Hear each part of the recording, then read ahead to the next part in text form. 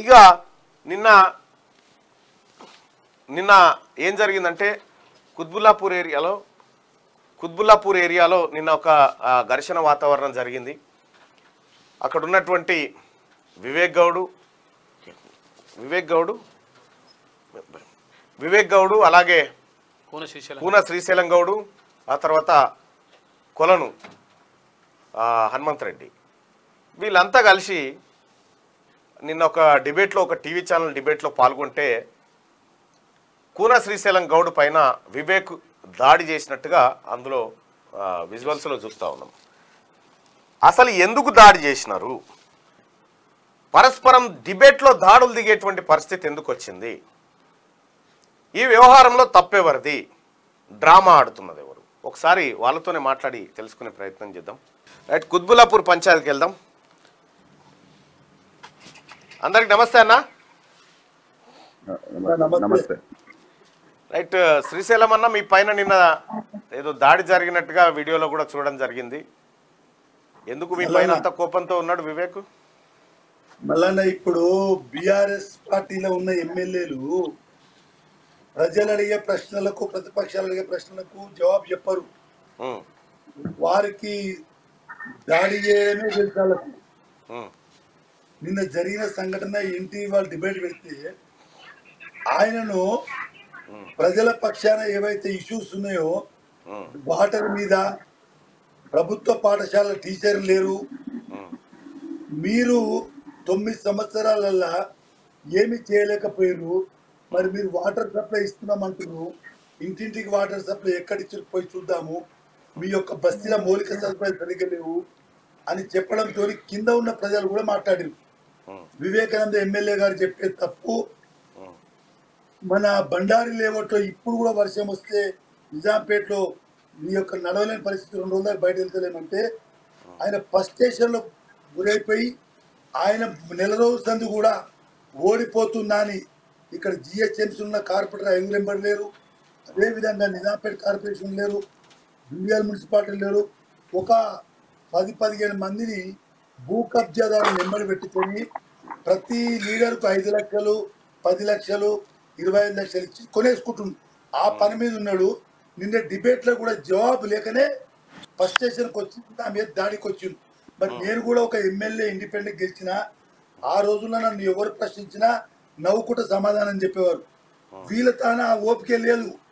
సామంత ప్ర- ప్రజలే తగిన బుద్ధి చెప్తారు.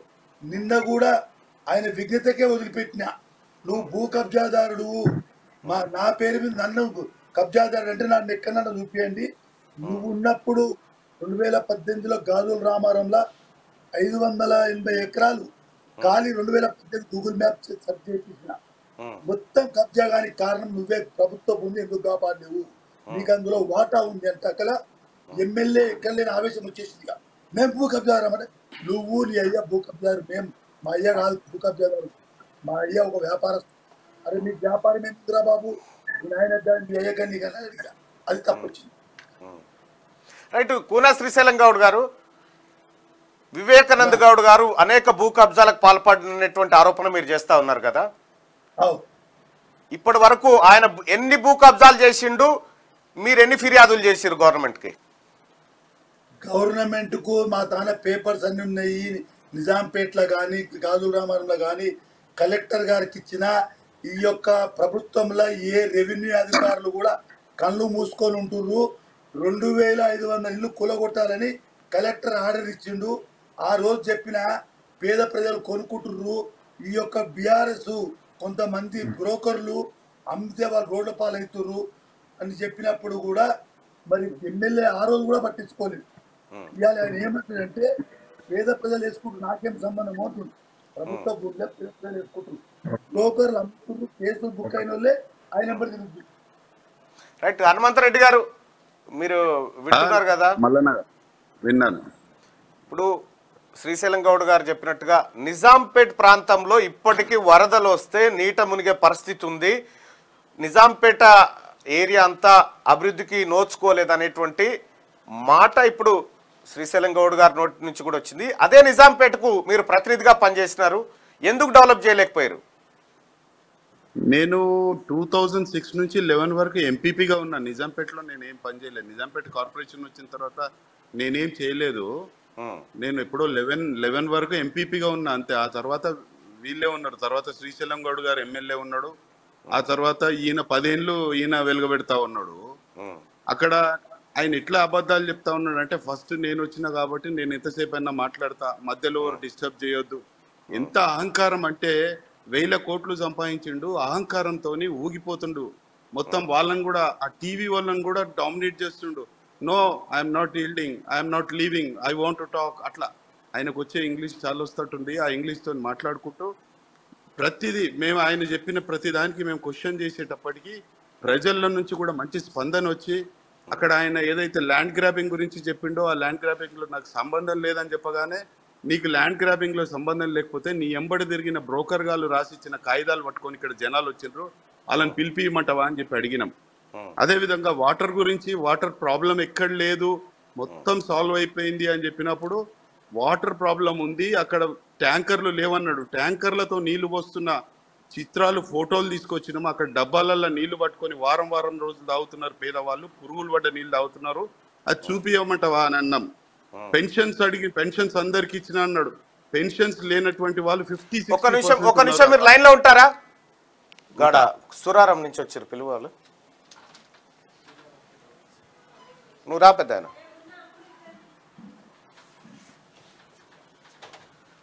ఇక్కడ మీరు అడ్వకేట్ కాబట్టి ప్రొఫెషన్గా నిన్న జరిగిన గొడవలో శ్రీశైలం గౌడ్ పైన జరిగినటువంటి దాడిని ఒక ఇప్పుడు జడ్జి అనుకోండి కాసేపు మీరేం మీరు ఎట్లా చెప్తారు దీనిపైన తీర్పు? నన్ను అంటున్నారా? ఎస్ ఎస్ మీరే. నిన్న అక్కడ ఏం జరిగిందంటే ఇవన్నీ ప్రూవ్ చేసేటట్టున్నారు. ఈ జనాలల్ల నుంచి స్పందన వచ్చేటట్టుంది. వాళ్ళందరూ వచ్చి బయట నుంచి వాళ్ళు మైక్ ఇవ్వగానే చెప్తా ఉన్నారు ఇదంతా బయటకు రావద్దు. ఈ టీవీ డిబేట్ ఇక్కడనే బంద్ అయిపోవాలి.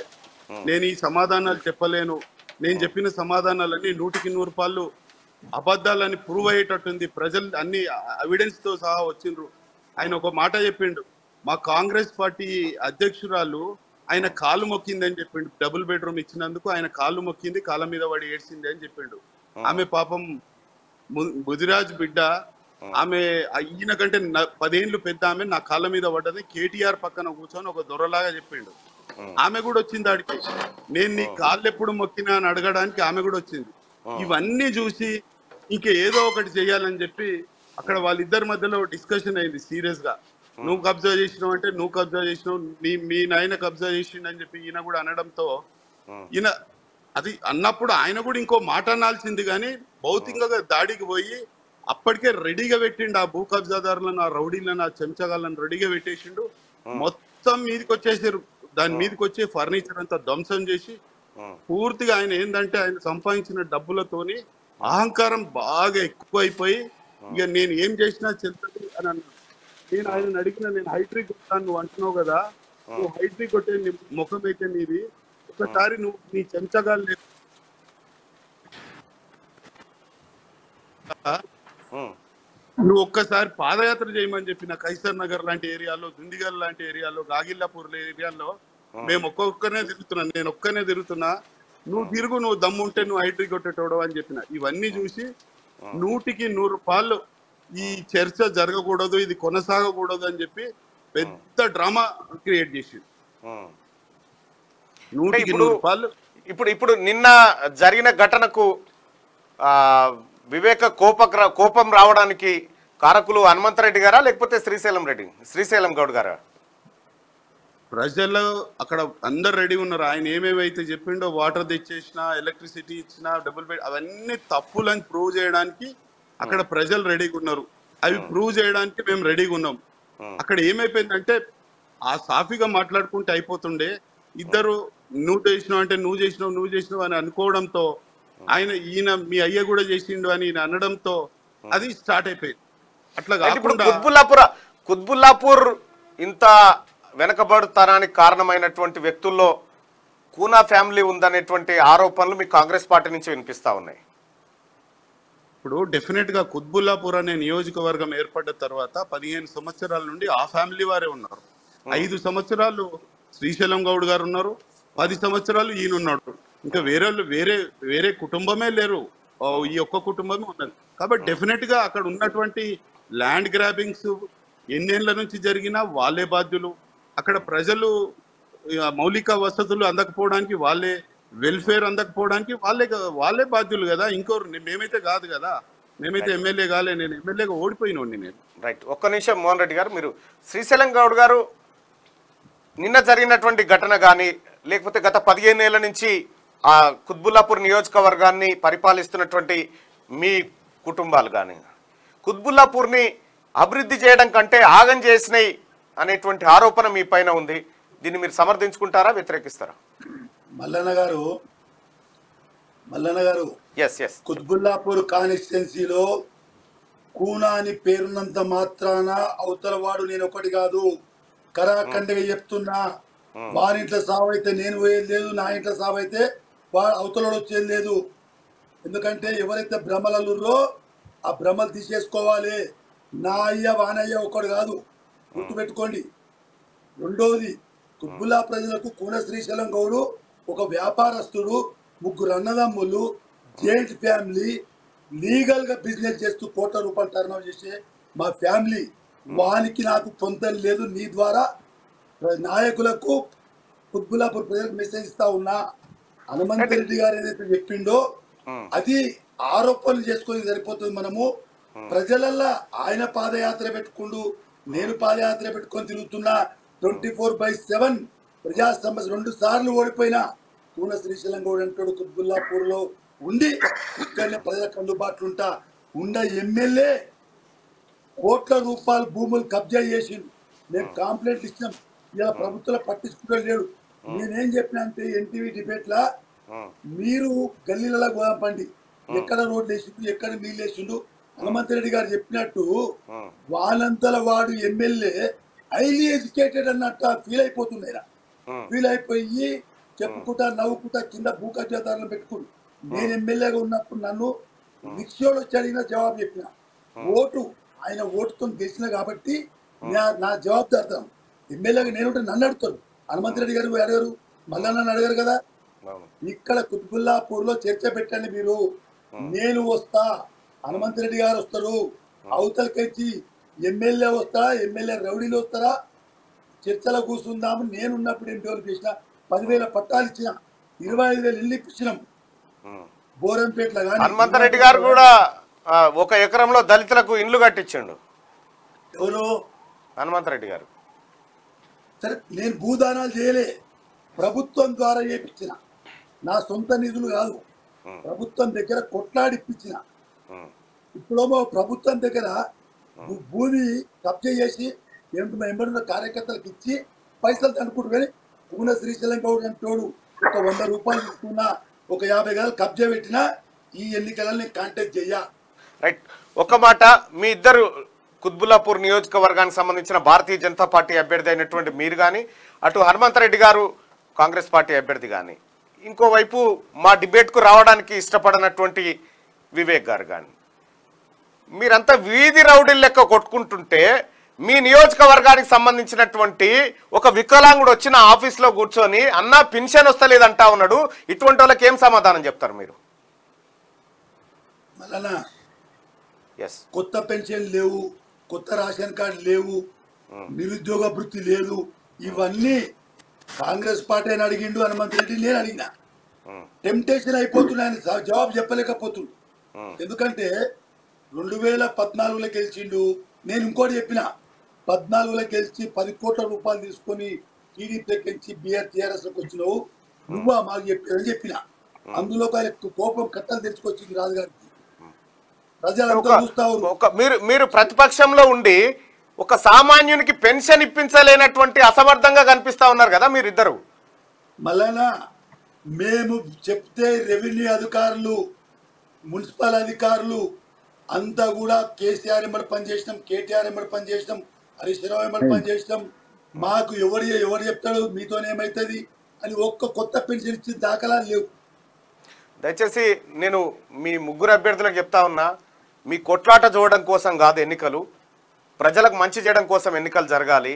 ఒక డిబేట్ అయినా ఏదైనా ఒక మంచి వాతావరణంలో జరగాలి. ప్రశ్న సమాధానం రూపంలో రావాలి.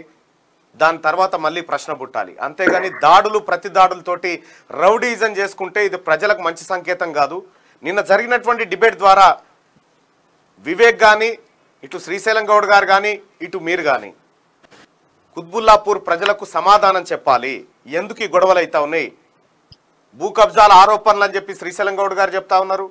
మీరేమో పెన్షన్లు రావట్లేదు ఇండ్లు రావట్లేదు కాబట్టి మేము ప్రశ్నిస్తే ఆయన దాడులకు దిగుతా ఉన్నాడని మీరు చెప్తా ఉన్నారు. ఎవరేం చెప్పినప్పటికీ అల్టిమేట్గా కుత్బుల్లాపూర్ నియోజకవర్గానికి ఏం జరుగుతూ ఉంది ఈ ప్రజలకు ఏం ఒరుగుతూ ఉంది అనేది చర్చ జరిగితే బాగుంటుంది అనేది క్యూనియస్గా మేము అభిప్రాయపడతా ఉన్నాం. అవును. సరే నిన్న నిన్న జరిగినటువంటి దాడిని శ్రీశైలం గౌడ్ పైన జరిగినటువంటి దాడిని వంద శాతం క్యూనిస్ ఖండిస్తా ఉంది. శ్రీశైలం గౌడ్ పైన కాదు ఎవరి పైన కూడా దాడులు చేయడం సరికాదు. ఇవాళ వివేక్ అధికారం ఇంకొక నెల ఉంటుండొచ్చు తర్వాత పోతుండొచ్చు.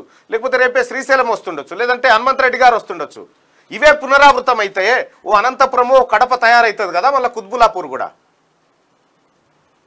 దాడులు ప్రతి దాడులు సమస్యలకు పరిష్కారం కావాలని చెప్పి నేను మీకు రిక్వెస్ట్ చేస్తా ఉన్నా. మీరు మంచి నాయకులుగా ఎదిగి ప్రజల మన్ననలు పొంది ఎమ్మెల్యేలుగా గెలవండి ప్రజలకు సేవ చేయండి. తప్పు కాదు. మల్లన్న గారు. ఎస్ మల్లన్న గారు కుత్బుల్లాపూర్ ప్రజలు నిన్న దాడిని చూసిర్రు. ఎవరు రౌడీ ఎవరు పనికి మాలినోడు ఎవరు పనికొచ్చటోడో వాళ్ళు తేల్చి చెప్తారు రేపు పొద్దున. ఇప్పుడు కుత్బుల్లాపూర్ ప్రజల దాకా కూడా వద్దు శ్రీశైలం అన్న. నేనే చెప్తున్నా వివేకు రౌడీయిజం చేసిండు. డౌట్ ఏముంది దాంట్లో? ఓపెన్గా చెప్తున్నా నేను కూడా. వినయ్ రెడ్డిని కొట్టిండు కార్పొరేట్ ఎలక్షన్ అప్పుడు. అవును. వాళ్ళ ప్రతాప్ వాళ్ళ అబ్బాయిని కొట్టిండు.